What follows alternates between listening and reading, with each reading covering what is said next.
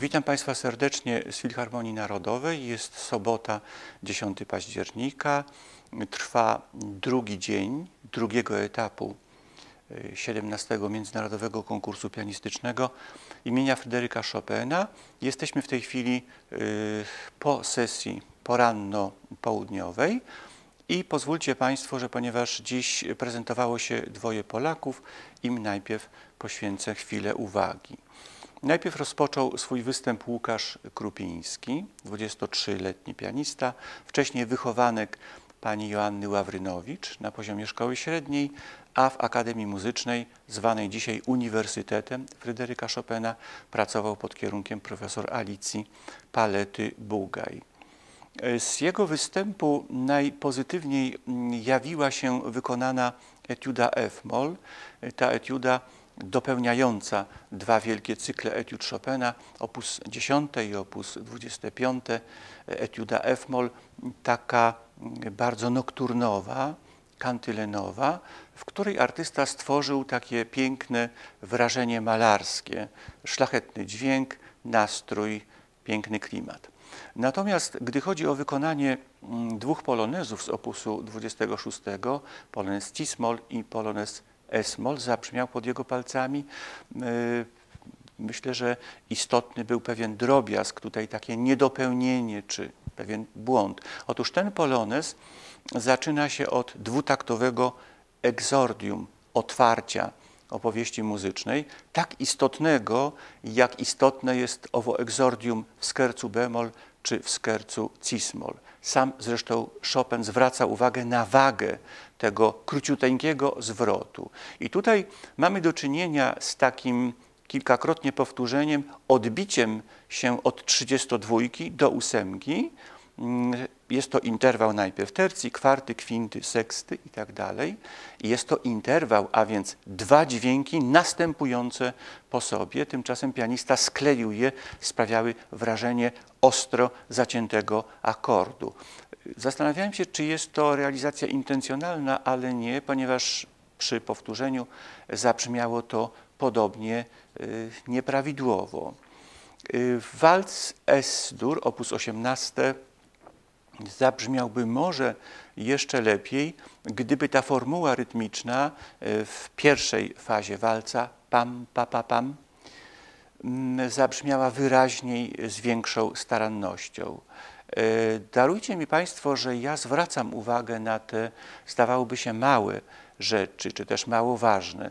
Jednakże one są ważne, są istotne, są właśnie solą treści dzieła muzycznego, a jak są ważne rzeczy małe, najpiękniej powiedział genialny Michał Anioł, nie lekceważcie drobnostek, gdyż od drobnostek zależy doskonałość, a doskonałość nie jest drobnostką. Po panu Krupińskim na estradzie pojawił się wychowanek profesora Stefana Wojtasa, pracuje pod jego kierunkiem od 10 lat. Obecnie studiuje w Akademii Muzycznej w Bydgoszczy.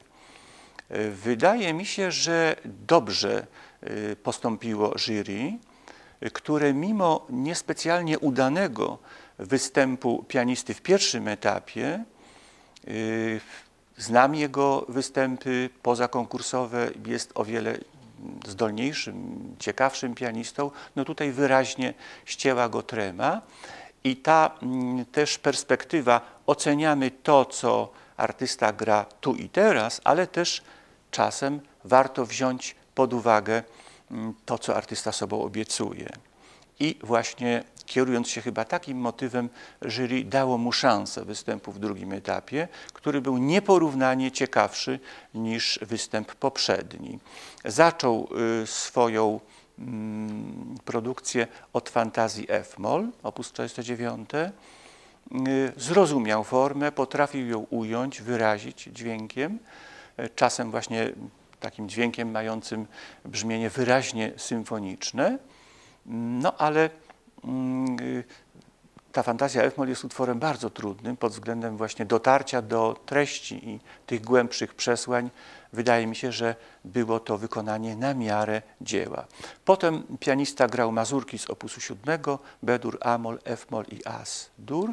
Najciekawiej wyszły Amol i F-moll. Natomiast walc As-dur, opus 42, wypadł przepięknie. Lekkość, finezja, gracja, dobra artykulacja. Może na końcu, na końcu już, przy konkluzji dzieła, dźwięk był troppo pesante, znaczy troszeczkę zbyt dociążony. W przeciwnym razie byłoby to e, wykonanie absolutnie przepiękne.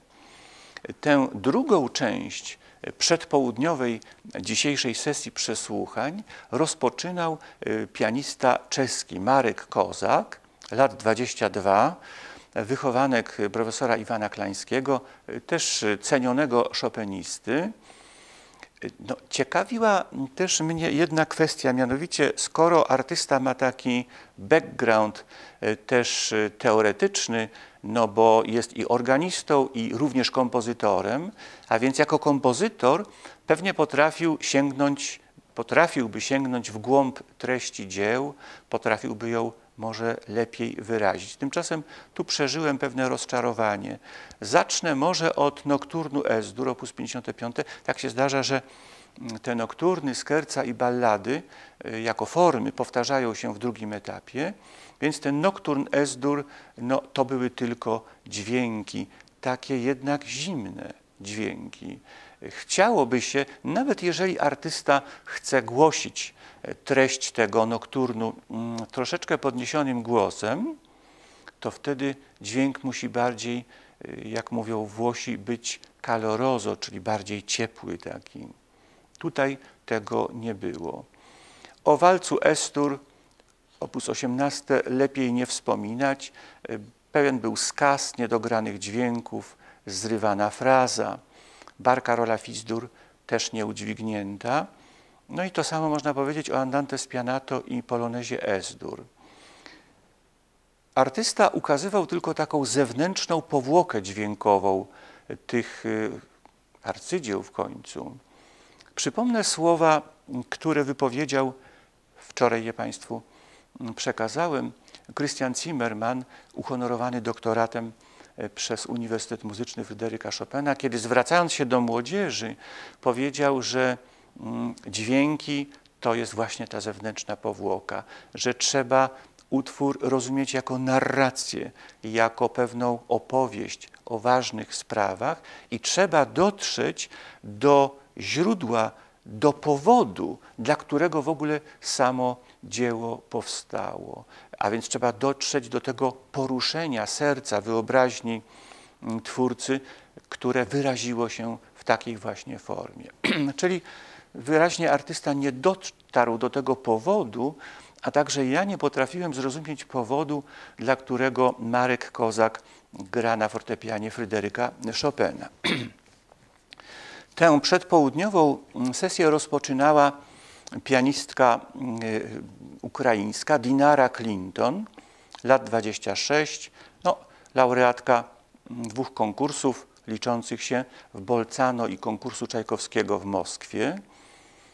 No i pierwsza część jej występu była zaskakująca in plus w odniesieniu do wrażeń z pierwszego etapu, gdyż artystka wykonała najpierw serię sześciu etiud z opusu 25, pierwszą, drugą, trzecią, czwartą, piątą i szóstą, co jest absolutnym wyczynem. Ponieważ jeszcze raz wrócę do problemu etiudy Fryderyka Chopina słowo etude, studium jest tutaj wyraźnie mylące, ponieważ na edukacyjnej, formacyjnej funkcji etiudy Chopina nie wyczerpuje się jej funkcja. To jest tylko jeden z aspektów. Ale oczywiście taką funkcję etiuda Chopina ma, ponieważ y, no, dzięki etiudom, dzięki wznoszeniu się młodego pianisty na ten poziom kompetencji technicznej i artystycznej, którego domaga się etiuda, dzięki temu wznoszeniu się, które trwa kilka lat, artysta dorasta jako pianista do języka dźwiękowego Fryderyka Chopina.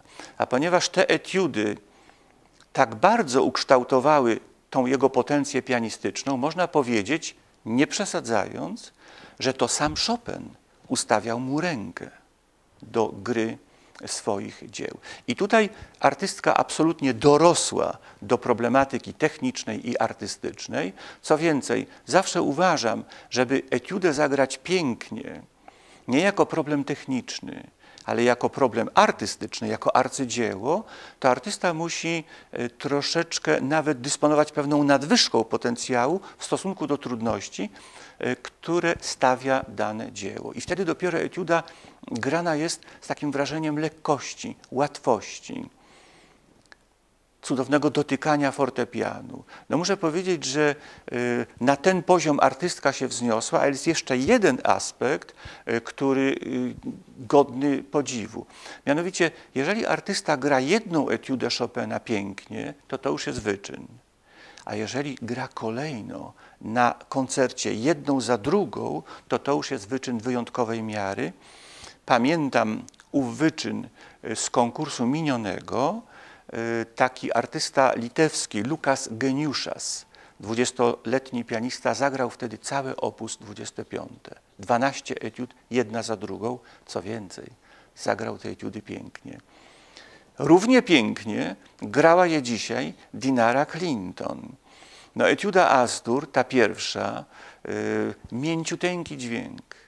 Gra te harfowe takie yy, partie gr grane rubato, a więc z tym takim falowaniem tempa, co pozwalało tej melodii śpiewanej przez piąty palec prawej ręki śpiewać z naturalnym oddechem. Cudownie modulowała też dźwięk w etiudzie F-moll, drugiej, następnej, pokazując mm, też y, przy pomocy agogiki, czyli tego falowania tempa, y, niuanse harmoniczne tego arcydzieła. Bardzo różnicowała poszczególne okresy etiudy F-dur, gdzie pewna formuła się powtarza, ale ona jest y, lekko wariantowana przez Fryderyka Chopina. Za każdym razem miało to trochę inne odzienie dźwiękowe.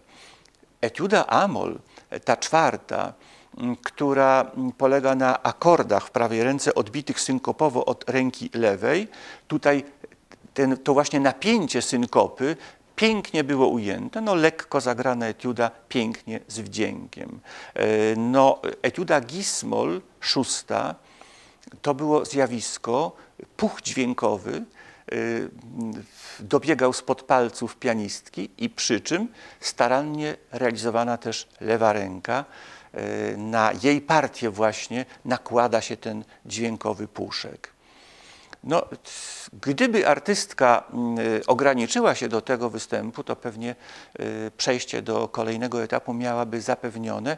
Tymczasem ona pokazała, że jest y, takim cyzelatorem miniatur, małych form. Natomiast w większych formach niestety tak wspaniale się już nie jawiła. Barcarola Fisdur była trochę zdławiona tym nadmiernie używanym pedałem. Polones Fismol no, grała klasyczny błąd w, tych, w tej formule w epizodzie środkowym przygotowującym pojawienie się Mazurka. 4, 32 i 8, kiedy to powinno być bardzo dyskretnie, ze wspaniałą dykcją wyrażone i też bez nadmiernego crescendo, co oczywiście zaostrza jeszcze uwagę słuchacza przed pojawieniem się Mazurka, grane było dźwiękiem dość brutalnym, a w dodatku jeszcze bez żadnej wyrazistości, po prostu maźnięte. E, no, walc e, F-dur op. 34 wirowy, czego brakowało? Brakowało raz, uderzenia na raz, znaczy uderzenia, wskazania tego raz, prawda, tak ważnego figurze rytmicznej, bo lewa ręka jakoś była zawieszona zbytnio w powietrzu. No szkoda, dlatego że y, to jest wielka pianistka, której format pokazało wykonanie tych sześciu etiud z opusu 25. No i zobaczymy, jak y, zdecyduje o jej pozycji dalszej w konkursie grono y, sędziów. Ale ja teraz przejdę do części pierwszej, ponieważ tę część pierwszą rozpoczęła pani Clinton, a następnie grała Aimi Kobayashi, tak pięknie prezentująca się i wzruszająco e, w, w etapie pierwszym, lat 20, artystka, która no, doznała takiego zaszczytu występu jako młoda bardzo pianistka w takiej najbardziej prestiżowej sali w Japonii. To jest Santori Hall w Tokio. No tak jak dawniej pianiści podają y, no, jako punkt y, powiedzmy chwały dyrygentów, z którymi występują na estradzie, to dzisiaj podaje się niektóre właśnie sale koncertowe świata. To są takie katedry muzyki, gdzie występ, szczególnie młode, y, młodego artysty, jest taką konsekracją niewątpliwie. Więc artystka o wielkim talencie. Ja mówiłem w pierwszym etapie o niej najpiękniejsze rzeczy i kiedy zagrała w sposób bajeczny nokturn Cismol op. 27 numer 1, przyrównałem jej malarstwo dźwiękowe do palety mistrza z Delft, Vermeera van Delft. I y, nie zawiodła y, pod tym względem, prezentując preludium Cismol op. 45, gdzie mm, tą y, aurą dźwiękową wywołała wrażenie nierzeczywistości. Natomiast niestety rozczarowała w większych formach. To jest bardzo trudny etap, gdzie nie wystarczy mieć tę potencję techniczną, a w zakresie techniki rozumiem właśnie zdolność kolorowania dźwięku, tylko trzeba też rozumieć formy większe i potrafić, i potrafić je wyrażać. No więc ballada Giemol zaczęła bardzo y, sostenuto temat pierwszy, a już potem nie wytrzymała psychicznie. Finał dał stłoczone dźwięki, jakby pędzone batem po prostu. No i wreszcie walc. Widocznie chyba, sama zresztą w wywiadzie potem dla Polskiego Radia powiedziała, że nie jest zadowolona z tego występu. Tak się zdarza na konkursie. Czasem ta forma psychiczna decyduje o tym, że artysta nie może zaistnieć w pełni swoich możliwości. Linia basu też y, czasem była podkreślona, czasem nie w tym walcu F-dur, a poza tym skazy też się pojawiły dźwiękowe. Walc miał wyraźnie mechaniczny charakter, a przecież on musi być y, właśnie rozluźniony w sensie agogicznym, musi to falowanie tempa y, rubato tutaj właśnie dojść do głosu. No, równie mechanicznie niestety zagrała poloneza Y, Asdur op. 53 szkoda, bo okazuje się, że tutaj następ, nastąpiło jakieś rozejście się dwóch wymiarów sztuki pianistycznej. Wspaniały talent, niewątpliwy, pani Kobayashi, gdy chodzi o kreowanie materii dźwiękowej, natomiast mniejsza sprawność, przynajmniej w perspektywie dzisiejszego występu, mniejsza sprawność, gdy chodzi o kreowanie formy czyli taki talent malarski, ale nie idący w parze z talentem architektonicznym. No ale niewątpliwym wydarzeniem, wystrzałem w tej przedpołudniowej sesji był występ pianisty Chi Kong, takie jest jego imię, z Chin, młody pianista 22-letni, kształcony, jak wcześniej Państwu powiedziałem, w tym słynnym ośrodku kształcenia pianistów Shenzhen, mm, gdzie kształcił się kilkanaście lat temu pianista Yundi Li, laureat konkursu Chopinowskiego w roku 2000. Powiedziałem y, przy okazji występu y, w pierwszym etapie, że właściwie każdy utwór w jego wykonaniu był zjawiskiem, że właściwie o każdym utworze można byłoby powiedzieć tak, jak mówią Niemcy, Schallplattenreif, czyli doskonałość do nagrania płytowego. I tak samo było i tutaj. Ale pozwólcie Państwo, ponieważ mamy do czynienia z wielką sztuką, żeby powiedzieć w kilku słowach o każdym utworze, na czym ta wielkość polega. Zaczął od nokturnu F-dur, opus 15 numer 1. Przepiękny dźwięk, jakby zawieszona opowieść ściszona, poetycka w czasie, a potem niezwykle poruszający kształt tego recytatywu w planie basowym w części środkowej, przechodzącej do tonacji F-moll i potem nagle, w ułamku sekundy, zmiana nastroju, zmiana ambiance, przejście znowu do tej pieśni ciszy. Cudowne wykonanie nokturnu. Fantazja F-moll, op. 49. No, fenomenalnie ujęta forma. A więc wszystkie motywy, łączniki, tematy, ich rozwinięcia, to wszystko niezwykle harmonijnie ze sobą zestrojone, nawzajem się dopełniające, tworzące ten cudowny, idealny kształt. I jeżeli forma w takim kształcie jest ukazana, kształcie dźwiękowym, to wtedy dopiero jawi się kryjąca się za tą formą idea czy prawda dzieła.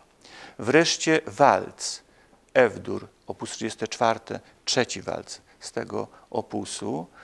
Y, walce polegają na tym, że o czym już mówiliśmy wcześniej, jedna formuła melodyczno-rytmiczna powtarzana jest wielokrotnie, czasem w postaci zwariantowanej, ale mm, właśnie każde powtórzenie musi nadać y, tej postaci melorytmicznej y, nowy kształt, nowy odcień, nowy charakter.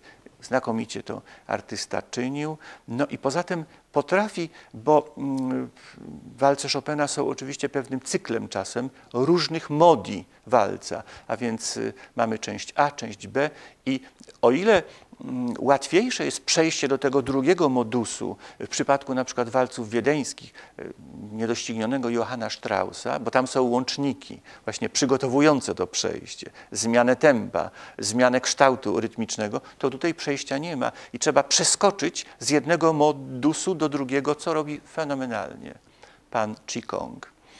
Wreszcie Andante Spianato i wielki polones y, Esdur – wielkie równie wykonanie.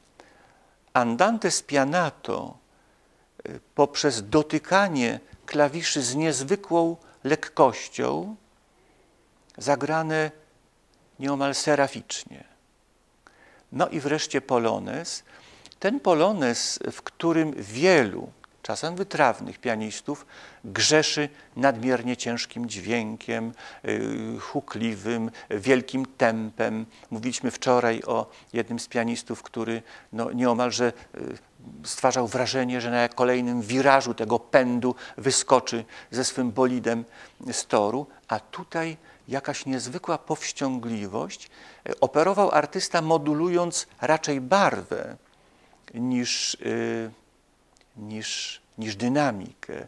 Zresztą proszę zwrócić uwagę, jak barwą operował wspaniale, przepraszam, że oderwę się teraz od poloneza, do bersezy, kołysanki. Mówiliśmy wczoraj, że to jest y, forma wariacji opartych na jednym, jednotaktowym właściwie temacie, tonika, dominanta, tonika i cały czas tam w górze y, coraz bardziej gęste, rozdrobnione kryształki dźwiękowe no cudownie, to dzisiaj od strony kolorystycznej różnicował, wszystko w piano, a dźwięk świecący, błyszczący, pełen światła, pełen powietrza i cały czas różnicowany w zależności od y, miejsca w utworze. I tak samo różnicował ów dźwięk y, w mm, wielkim polonezie, y, polonez, Grand Polonaise Brillante, po prostu nigdy nie było pełnego forte, nie było tego brzmienia y, symfonicznego,